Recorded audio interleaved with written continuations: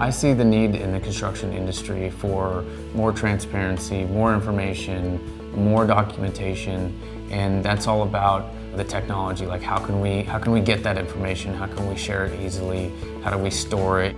Where I see laser scanning going is more use of it in construction. The floor flatness analysis for concrete construction uh, is fairly new for us. Um, we saw an opportunity uh, with the change in the ASTM standards in 2014 to uh, start implementing that workflow. Before we, uh, we have to hire a third party to do the traditional uh, dipstick method.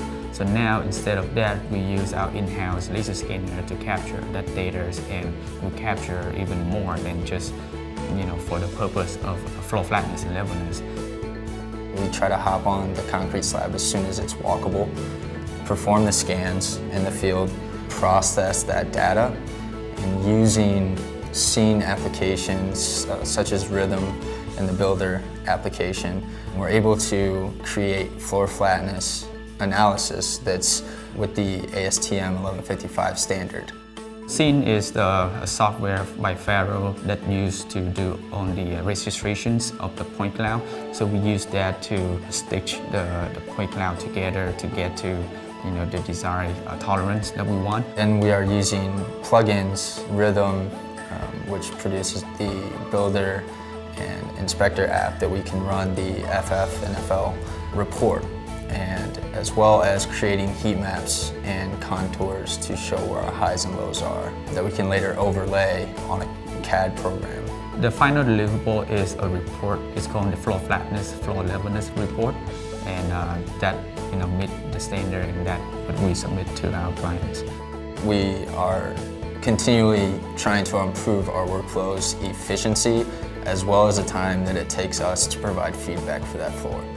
Meaning, we are pushing the limits to improve from that scanning within that 72 hour um, time period to actually scanning during the pour. We are addressing the issues real time, providing that feedback to the team, pointing out potential issues that could occur and could affect our FF and FL numbers. And they love to hear those high numbers that they reach. They love to get in the high 50s and 60s and you can see them out there high-fiving each other.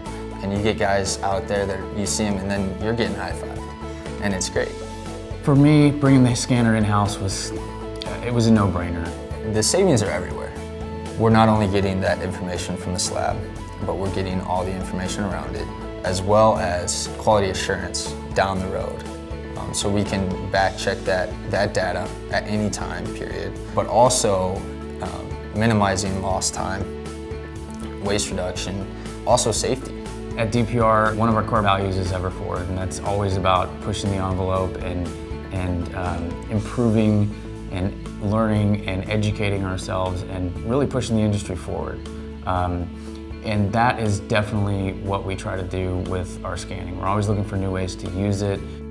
Every day I feel like a pioneer and I feel like our team is constantly creating new ways and leveraging the, the current applications and current and plugins and software and equipment in the field to actually run this analysis and provide our teams with answers as, as fast as we can.